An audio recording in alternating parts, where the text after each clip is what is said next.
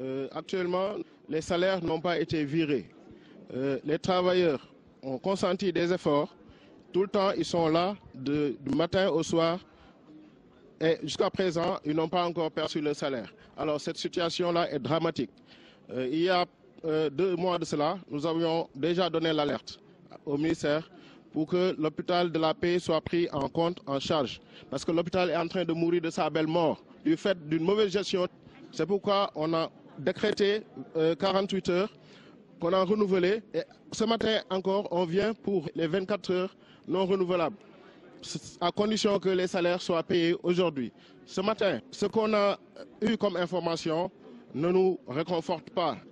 Nous connaissons tous le système bancaire. Quand on fait un virement, logiquement, dans les 24 heures ou plus tard dans les 72 heures, l'argent devrait être positionné dans les comptes. Malheureusement, jusqu'à présent, aucun agent n'a perçu son salaire.